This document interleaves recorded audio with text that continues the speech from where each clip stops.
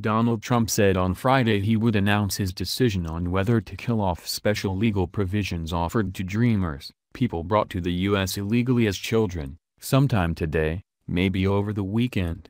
We love the Dreamers, the president told reporters in the Oval Office, we love everybody, we think the Dreamers are terrific. Support for Deferred Action for Childhood Arrivals, DACA, a 2012 Obama policy, has come from many directions since it was reported on Thursday that Trump was said to let it lapse. Around 800,000 people in the U.S. have Dreamer status, which they must renew every two years. The Republican Speaker of the House, Paul Ryan, told a Wisconsin radio station on Friday, I actually don't think he should do that. I believe that this is something that Congress has to fix. Ryan said he believed Barack Obama had not had the constitutional authority to sign DACA into law but added, there are people who are in limbo. These are kids who know no other country, who were brought here by their parents and don't know another home. And so I really do believe there that there needs to be a legislative solution. Many of America's world-leading technology chiefs and dozens of business leaders sent an open letter to Trump urging him not to kill off DACA.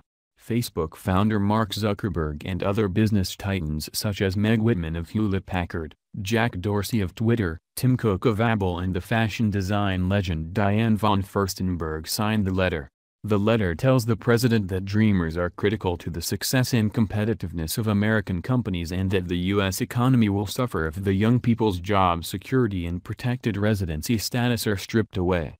An immigration reform group founded by Zuckerberg, FWD Us, orchestrated the letter, as reported by Politico. Zuckerberg and Facebook's chief operating officer, Sheryl Sandberg, were two of the leading signatories, saying of Dreamers, with them, we grow and create jobs. They are part of why we will continue to have a global competitive advantage. Other companies signing the letter include Google, Uber, Foursquare, GoFundMe, Lyft, Tumblr, and dozens of smaller companies and groups such as Tradeasy, the Illinois Science and Technology Coalition, and progressive law firms. Supporters of the DACA program were nervous but cautiously optimistic as recently as June that Trump would preserve Obama-era rights for those affected to work or go to college without threat of deportation.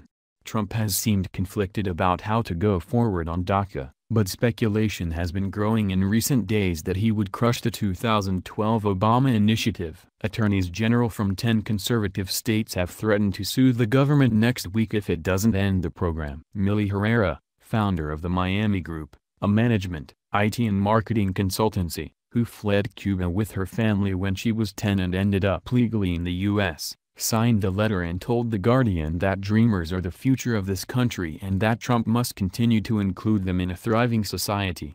It's not only the human thing to do but it's also the economically beneficial thing to do. These young men and women hold down jobs, pay rent, are law-abiding and contribute hugely, and we need their skills, she said. It was not the dreamers' fault that they had arrived in the U.S. undocumented and trying to take away their rights and deport them would simply be racist and cripplingly expensive, she said. We need compassion but also common sense, here, she said. She called for comprehensive immigration reform legislation, at which Congress has balked for at least a decade. The letter calls on Trump to preserve the DACA program and also calls on Congress to pass the Bipartisan DREAM Act, or similar legislation, that would give Dreamers permanent legal status in the U.S. Unless we act now, all 780,000 hard-working young people, affected by the program, will lose their ability to work legally in this country, and every one of them will be at immediate risk of deportation. Our economy would lose $460.3 billion from the national GDP and $24.6 billion in Social Security and Medicare tax contributions, the letter says.